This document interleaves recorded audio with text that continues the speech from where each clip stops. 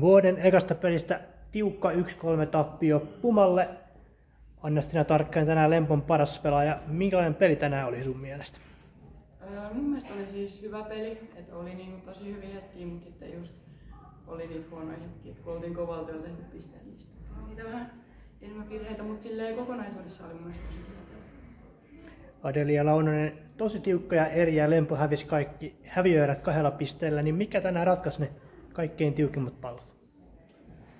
Öö, no, kaverilla oli ehkä enemmän tahtoa sitten niinku ratkoa ne pallot, että sanoisin niin. Tuomas Alatalo, miten sä tänään näet pelin?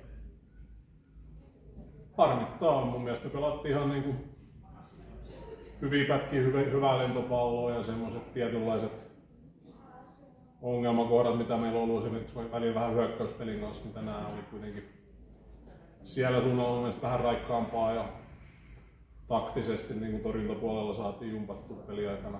Ihan hyviä syötettiinkin hyvin. Lentopallossa pitää pelata pidemmän kuin 23 pisteeseen, niin täytyy sitä vielä jumpata.